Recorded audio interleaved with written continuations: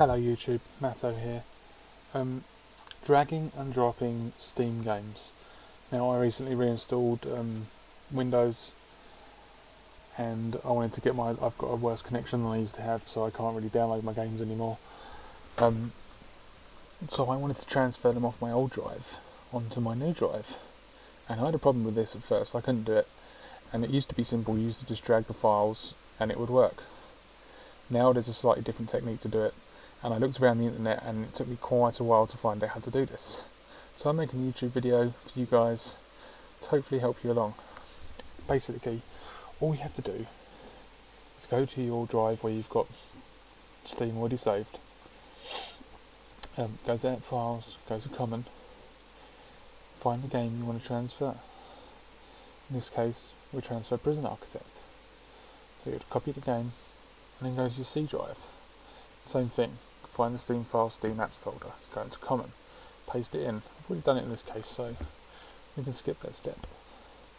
So you've pasted the game into the C drive from your external or whatever your other spare internal drive. Now, the bit you need to do that they don't tell you about is find the corresponding app manifest ACF file. Now to do this, all you have to do is find the game on Steam. So we want Prison Architect, so we Google Steam Store Prison Architect. Here it is. You can see already the L's here, but we'll just click on the game just to show you. Now in the L above, this number here is going to be the corresponding number to the ACF file you need to transfer. So in this case it's the 233450. So we grab this file, copy, and then we'd paste it, but not into the common file, we're going back one into the Steam apps file and pasting it in here. already done so, so that's working. Now when you relaunch Steam, your game should appear in your library. All you have to do is click it and run it for the first time and it'll produce, perform the first time setup. Now just to show you, let's say we want to do Dota.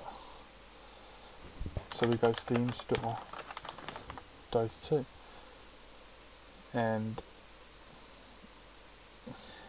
here it is. You can see it's 570. And lo and behold, 570 corresponds with my Dota 2. And it's as simple as that. Hope this has helped you guys. Thanks for watching.